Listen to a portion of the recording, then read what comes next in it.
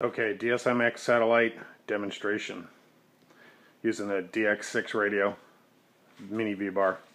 Brand new DSMX satellite fresh out of the package. Just using a little regulator to power it up for this demonstration.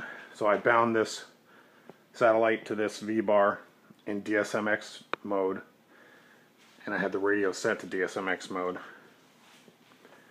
You power it up, the satellite goes steady, blink, no blinking say you take your battery out, get a cool down period, you leave your radio on, come back in, plug in a new battery. Solid light. If you bind these uh, satellites, or I would imagine the receivers, as a DSM2, then it'll act as a DSM2. But if it's bound, if the radio is set at DSMX and you're using a DSMX receiver, this is the behavior. You can even turn the radio off. And you can see it loses link. Turn the radio back on. And it'll still come back as a solid light.